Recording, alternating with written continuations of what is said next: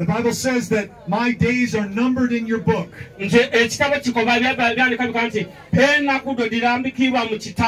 Before I was even born.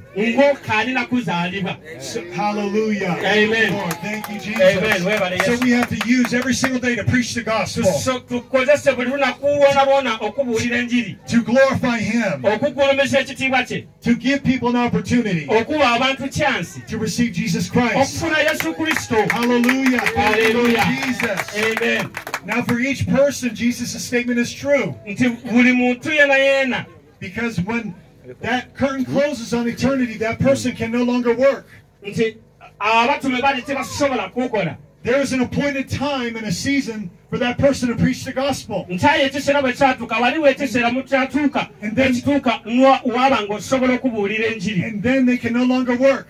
aye ekiseera bwe kyali kikale nga tebasobola kubuulira njiri But Jesus was saying something else. naye yesu bwe yaida ya batuma He's saying there's an appointed time on planet Earth when the gospel can be preached. era yakanda ekiseera kirina kutuukera kyatuuka okubuulira enjiri mu nsi He said, The night cometh when no man can work. nti ekiseera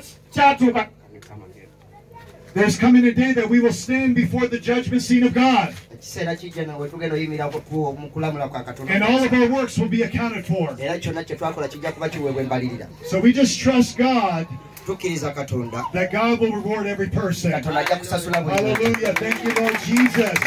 Thank you, Jesus. Now they had called this man before them, the Pharisees, more than once. ono omusajja yabayita abaali abafirisuuti And they asked him more than once, on more than one occasion, ne bamubuuza okusukka omulundi ogumu What did this man do to you? ono omusajja yakukola ki And he said,